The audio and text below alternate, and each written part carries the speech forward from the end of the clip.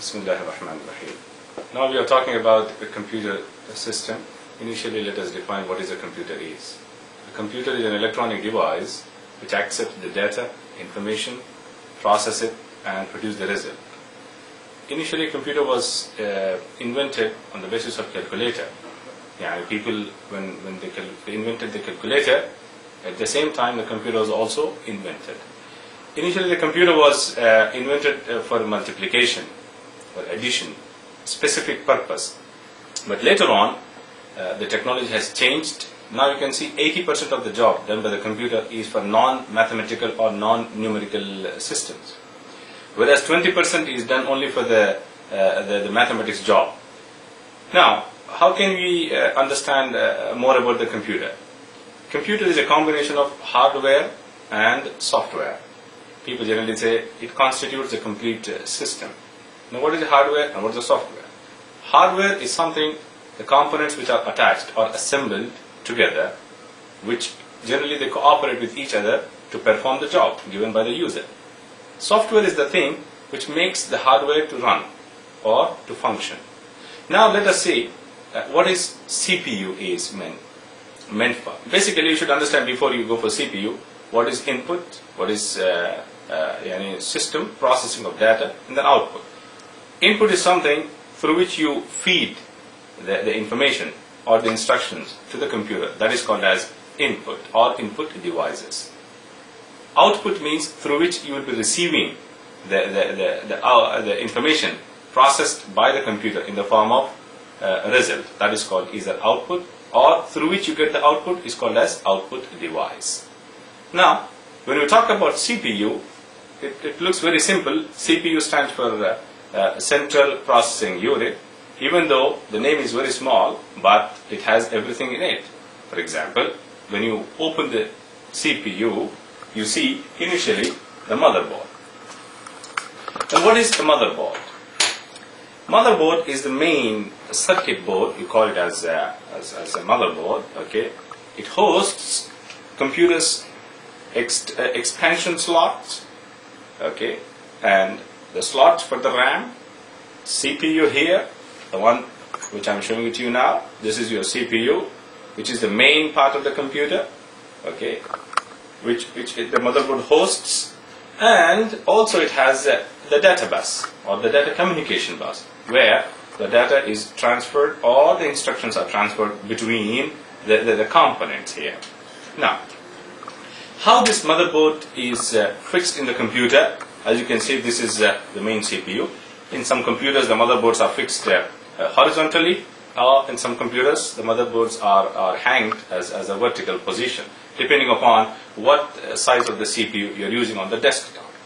Now, when you talk about more about like this my, my, uh, my microprocessor or I call it a CPU in general so that people uh, know the name as a CPU microprocessor is a technical name is a technical name of CPU basically this is your CPU if you, if you can see this it hosts three parts what are those uh, parts number one control unit number two arithmetic and logical unit.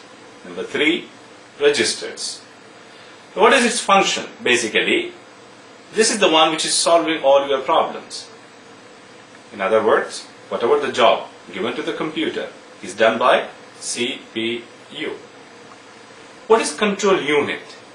Control unit stands for, yeah, basically it is, uh, it, it makes the, the, the operations given to the computer in sequence. It is someone who is controlling your, your, your job given to the computer. That is called as a control unit.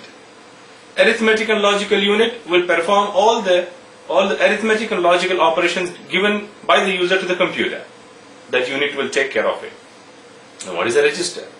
Register is a place where the, the calculations are done for CU, sorry, ALU, and the instructions which are flowing in between for, for CU. In other words, I can define a register in this case. A register is an essential storage location for CU and ALU. Now, when you talk about the register, you should also talk about its size. The larger the register size, the more the instructions it can do at the same time. It can store the instructions at the same time. Remember, again, register is a location to store the essential information for control unit and arithmetic and logical unit. While the computer is performing the job, it requires little space to do the job. So that space is provided by the register. Okay. Coming back to this motherboard, you can you can see that I'm using now. This is called as a, a, a RAM unit, you know, which I can fix it on to the to the motherboard. In, in, in this case, like this. Okay. Or I can make use of any additional any additional card to be attached into the motherboard. This is called yeah, expansion slot. I'm talking about the expansion slot. Sometimes it happens that I have a big card size. Okay, so then in that case I can make use of the other slots uh, listed there. Now, how can I how can I see that the hard disk is attached to the motherboard? Then what is a hard disk? Hard disk is a secondary storage devices. When you talk about the secondary storage devices, the, the data stored in your computer permanently. That is called as a secondary storage device. How these are fixed? It looks as if it's very big in size, but the motherboard cannot contain that on it. So, computer, we, we use something called as a cable through which I can attach my my uh, hard disk to the computer, like this.